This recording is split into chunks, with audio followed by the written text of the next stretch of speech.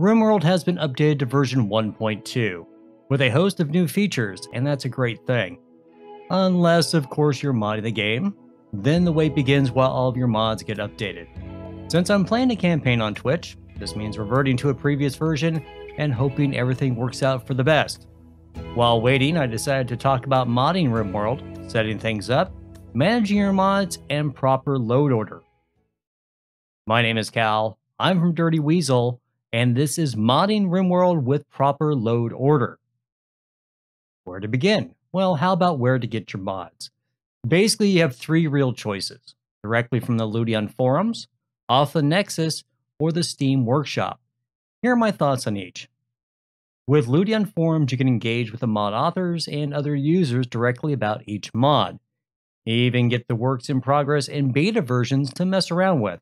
But let's be honest, with no real search function, you are unlikely to find what you're looking for, and there's no auto update feature. As to the Nexus RimWorld page, it has a great search function and you can integrate with the Vortex Mod Manager. More on this later. However, perusing the offerings on the Nexus, I found that the listings were woefully slim and most were severely out of date and therefore obsolete. That leaves us with the Steam Workshop. Normally, if we were talking about modding a Bethesda game, I would turn up my nose and sneer derisively. In this RimWorld application, it is your best bet. A robust search and categorization feature, the mods are plentiful and up to date, and most mod authors do engage with users in the mod page comment sections. More importantly, the mods auto install and auto update when subscribed to the mod. Also, they auto install when you stop subscribing to them. So generally, this is my choice when modding my own game. Let's move on to the file system. Inside the RimWorld directory, the location of which depends on where you bought the game, GOG, Steam, etc., you'll have to find a folder labeled mods. For me, it is on my games drive under Steam, Steam Apps, Common, and then RimWorld. And you'll find the mods folder. And inside of this, you'll this is where you drop all of your mods. To install a mod manually that you've either gotten from the Ludeon forums or downloaded manually off the Nexus, it's as simple as opening up the archive that you've downloaded, in this case, a sample mods, using WinRAR or 7-zip. Inside that, you'll see I have a sample, and you can just drag it and drop it in. Now that sample, which has a bunch of contents in it, is a mod all by itself. And you can see I have another one in here that I had to download manually to get the correct file format to make it all work. But that's how you do it. And as simple as that, and it will show up your mod management tool inside the game. Very simple. However, you'll notice that mm, there's nothing from Steam on here, and I assure you I have many, many mods from Steam, the Steam Workshop, on this game. So where is that stored? Well, you're going to have to go back to Steam. Once again, on my games drive, Steam, Steam Apps, Workshop, content, and then the game ID number for Steam for RimWorld is 294100. And inside this, you will find all of your Steam mods by the Steam Workshop mod number, which is very confusing and you won't know exactly what you're having. When looking at the Steam mod page for RimWorld, it's not readily apparent what the workshop mod number is. It's not listed on this page whatsoever. And you can see I'm looking at Harmony here. If we go to the web for the same Steam Community Workshop page and look at Harmony, the directory number is right up there in the URL, in this case 2009463077. Go back to your file number and you will be able to directly find 200-946-3077. So that's the best way to do it. Most of the time, you won't need to know this information, but if you plan on modding the mod, as it were, you'll need to know that. Fortunately, with the Steam Workshop, most of the installing and uninstalling your directories is handled automatically. With all that out of the way, let's talk about mod managers. You could use the in-game mod management tool. It is serviceable, but highly lacking. There is the Vortex by Nexus mods, but in testing I found that for RimWorld, it was a bit unreliable and a steep learning curve if you're using it just for this game alone. So I'm going to recommend using a mod naturally called Mod Manager by Fluffy. As an aside, Fluffy is an excellent and prolific mod creator who I can highly recommend for all of his mods. It has one dependency in order to work, and that's Harmony by Brrainz. A quick word about Harmony. Is not a traditional mod. Rather, it is a script extender that adds additional coding to the game that many other mods will rely on to work. The Mod Manager is one such mod. So before starting, make sure you have the latest version of Harmony. You'll see what I mean in a minute. Let's go into the game and get the basics up and running and discuss the mod manager. So here we are in game. You can see I've upgraded to the latest version. That's just so you can see some of the problems and pitfalls that a good mod manager will help you with. Let's go over to the mods tab and open that up. And you can see all that we have activated right now are core and royalty. Now, I did mention that the mod manager requires Harmony as a prerequisite, and we'll scroll down and find Harmony. We'll activate it. Now we come back up, and you can see Harmony is blocked down red. So let's go ahead and move it to its proper position, which is up at the top. And we will discuss load order at a later time in this video, but for right now, that's where it belongs, is all the way at the top. Let's also grab the mod manager and just install that right below royalty to start with. We're going to close it and restart the game because it needs to restart so it can update the mod list. Now, when we go back into our mods, you'll see something very different here as far as the mod manager tool. You'll notice if you click on each individual one, it will tell you things about it. The core, of course, the royalty DLC, and the mod manager will give you functions for this. And you can scroll through these different things. Starting at the top, you have a number of different search functions. You can put in uh, Giddy for Giddy Up, all the Giddy Up mods. You can do different things like Dino, and you can find Dinosauria. And you notice there's a red check mark next to it, indicating that the mod manager has found that it is out of date. That's a different video. Also on this side, if you have a large number of actives, you can do the same thing and just put a mod, and it will highlight the mod manager. On the bottom half of the page, you can see you have a number of different functions over here. You can start by mass unsubscribe or inactivate all Steam Workshop mods for the entire list on both sides. You can also mass remove inactive or outdated or all local copies. That's a function that we'll touch on in just a second. You can also get more mods from Ludeon forums and it'll go directly to the Ludeon forums. There you go. And you can also go directly to the Steam Workshop and get mods there as well. Down here at the bottom, you also have a re reset active mod list to a blank mod list. Are you sure? And it will remove everything in the mod list except for the mod manager and Harmony, oddly enough, because that's that's the way it works. They don't want you using a different mod manager. Uh, but if you had a number of different mods in here, you could do that.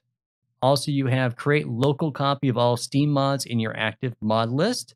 This would be if you wanted to not use any further updates and stick with the one you have. This will make a local copy and it will be stored in the mods folder I showed you earlier inside your RimWorld directory, and you will not get any further automatic updates. And finally, on this button, you have create and apply and manage your mod list. Mod lists allow you to quickly switch to sets of mods. And I have a number of them already set up. And if we, you can either save the current mod list, which we will call default as an example. So it always goes to the default for Harmony, Core, Royalty, and then the mod manager. Then you can go ahead and load different ones. You can load a previous save. You can have default or your washer testing if you're doing mod testing like I am. And you can load the mod list very easily. Furthermore, you can go ahead and install this mod list either from a save or import a mod list from a string, which is something I will not cover here because it's a little more involved. So if you go ahead and click on a previous mod list which you no longer need, let's say August 10th, it will give you options. You can either export the mod list to a string, which I mentioned on briefly, load that mod list for August 10th, add to current list, rename the list into something else. You can change the list color, which is very useful, or delete the saved list. I'm going to not delete it at this time. So let's go back to the default list and load that mod list. And we're back to our original plan. When you click on each of the individual mods, you'll have further options to do things over here on the bottom right. You can see the version, uh, what versions it covers, the author, Andreas Pardike, which is Brrainz, by the way. And then you can also change the mod list color, change color for this version of Harmony only, or change color for all versions of Harmony. And then you have a full HTML color checker if you wish to do so, which can be quite useful when we start managing mods based off of categories.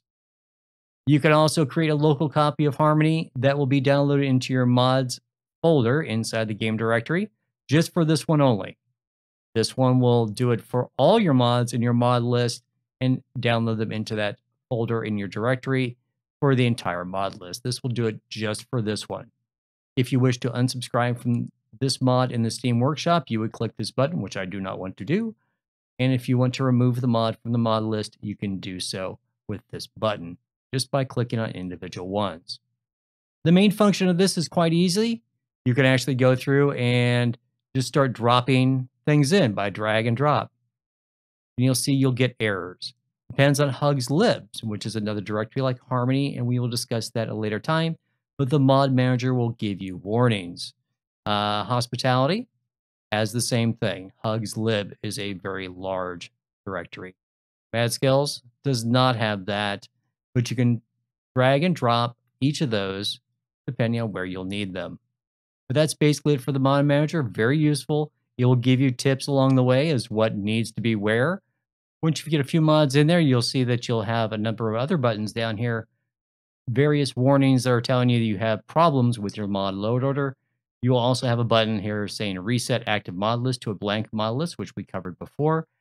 For each of the mods, you can actually go ahead and change the color. Let's say for Harmony, we'll change that color to, for all versions Harmony, we'll make it a nice yellow color and we'll choose that color gold, apply it. You can see the colors changed and press OK. So now that you can see how those work, and this becomes very useful for categorization.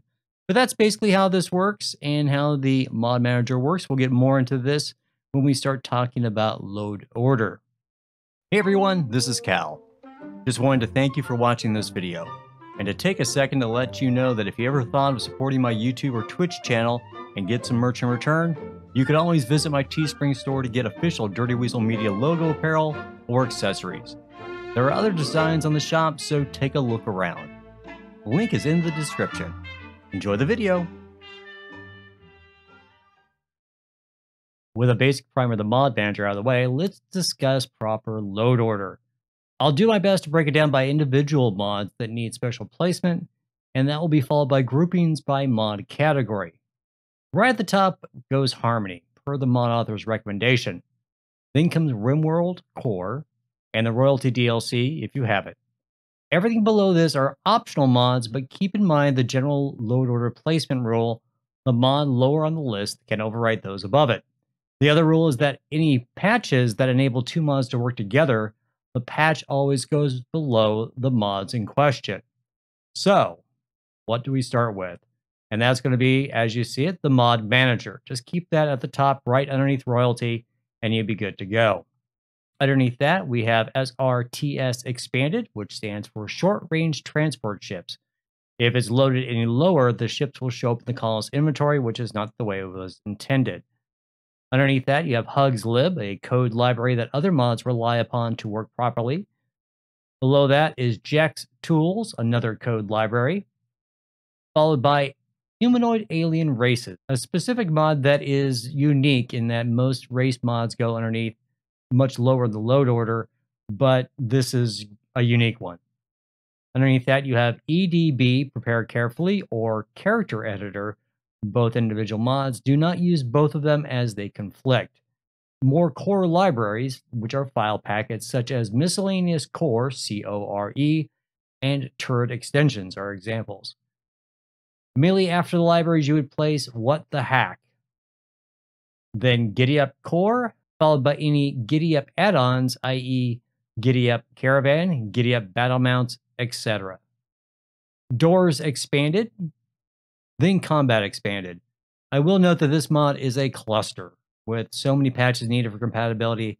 I avoid it like the plague. RimWorld of Magic, Medieval Times, or Rimhammer would go here due to the fact that they all restrict tech levels. Now we get into the general categories of mods and their placement. Any of your map generation mods would go here Grand Rivers, Archipelagos, Map Reroll, etc. Then factions, any mods that add new factions but not new races or pawn types. Traits, mods that add just traits or additional slots for traits. Androids, Android tiers, miscellaneous androids, and any other mod that adds robot pawns. Medical mods, mods that add new surgeries, bionic parts, etc. Architect, a dog said, and expanded prosthetics and organ engineering are examples. Note, mods that only add new items come later. These are things that add new procedures like surgeries. And then what I call the trouble mods due to how they overwrite the vanilla files. Psychology, hospitality, prison labor, dubs, bad hygiene, simple sidearms. These aren't the only ones that do it, just the most common. Game behavior, mechanics, UI mods. Basically how the game works, including the AI behavior. Nearly all the aforementioned mods by Fluffy, some offbeat examples would be things like hand me that brick and steel isn't flammable. So there's lots of them there. And as I mentioned, all of the fluffy UI mods would go in there as well. Then come all of your texture mods. There are just too many to list, so choose your favorites. Just keep in mind that if two mods change the same item, the one lower on your load order wins, and that's the one you'll see. Any items would come next. That's anything you can build, make, or find as a quest reward goes here. A couple of my favorites would be Rim Fridge and Repair Kits. Vanilla Hair Expanded needs to go here due to strange mod interactions. I'm not sure why that is. It's just, it just is. Any of your animal mods go next. They need to be this low. I'm not kidding on it. These would include all the Vanilla Animals Expanded series, mm, Dinosauria, etc. New race mods come after the animals. All your vampire and werewolf mods go here if that is the way you roll. Level this needs to go below werewolves to work properly, the way they interact between the two. Normally it'd be much higher, but put it this low. It will work. All of your facial mods that alter pawns because reasons. Just have it this low. You'll you'll thank me later. Keep in mind that the above is in no way a comprehensive list of rules, just guidelines. You may have some unforeseen interactions between mods that will need adjustment.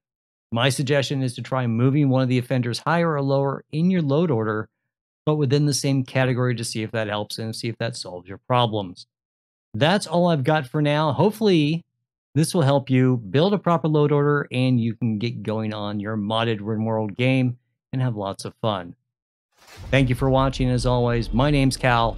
I'm from Dirty Weasel, and I'm signing off.